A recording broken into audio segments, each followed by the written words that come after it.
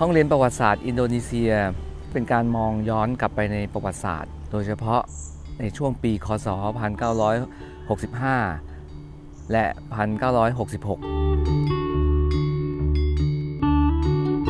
ในตอนนั้นเนี่ยประเทศอินโดนีเซียเนี่ยก็เกิดสถานการณ์ เรียกว่า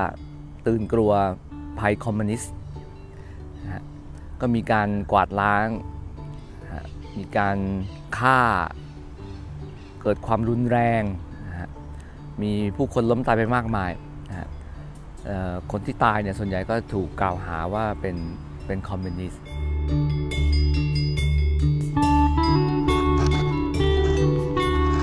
ผลงานชุดนี้ส่วนใหญ่จะเน้นเป็นภาพนะฮะภาพเหตุการณ์นะฮะการประท้วง แล้วก็การจลาจลแล้วก็การฆ่านะฮะฆ่าคอมมิวนิสต์ แล้วก็มีใบหน้าของผู้นำที่มีบทบาทมากในขณะนั้นนะครับ ผู้นำของอินโดนีเซียทั้งท่านสุกาโน ท่านซูฮาโต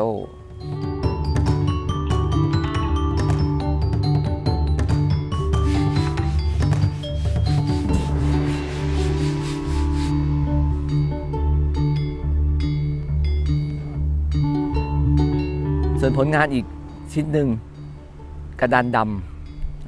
ประวัติศาสตร์ร่วมระหว่างอินโดนีเซียไทยแล้วก็สิงคโปร์ โดยรวมเลยก็คือว่า 1965 เนี่ย ทั้ง 3 ประเทศมีอะไรที่ร่วมกันในทางประวัติศาสตร์การเมืองก็คือ กระแสของการปฏิวัติการประกาศเอกราชของประเทศหลาย ๆ ประเทศนะครับแล้วก็การต่อสู้กันทางความคิด การต่อสู้กันทางลัทธิการเมือง ระหว่างโลกประชาธิปไตย กับโลกคอมมิวนิสต์ครับก็สร้างบรรยากาศที่เป็นเป็นห้องเรียนประวัติศาสตร์นะก็นำผู้ชมย้อนกลับไปสู่อดีต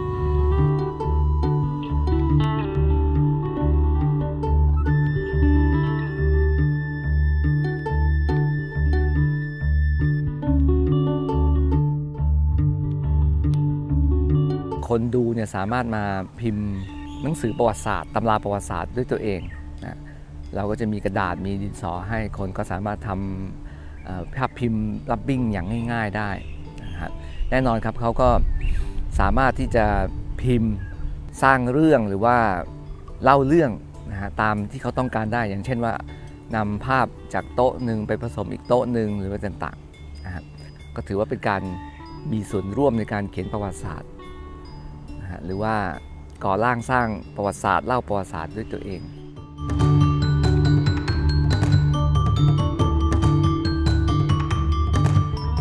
Yeah, well, first perhaps to speak a little bit more generally about history class and why uh, such a work is very relevant for this exhibition. For me, history class is a quintessential Southeast Asian work of art that uh, engages the audience uh, into a discourse that is about public public ideas, uh, ideas that are key, I think, for today, but also for today, not just in Thailand, but everywhere, which is the business of um, people's involvement in history, the creation of their own history, and the ownership of their own history, uh, particularly modern history um, in the region, which has been very fraught. Uh, especially as nations have come out of um, the, the, the sort of pre-national period, the colonial period, not the case in Thailand, but definitely the case um, in Indonesia. And for me, what's key about this work is the way you've conceptualized it to occupy public space. So the idea that the work would be in the street, but also to occupy the public space uh, of ideas, the ideas of um, that I've just mentioned of democracy, uh, of empowerment, individual empowerment, that each person should be uh, responsible for his or her place uh, in society and Uh, the joint decisions that are made as a nation.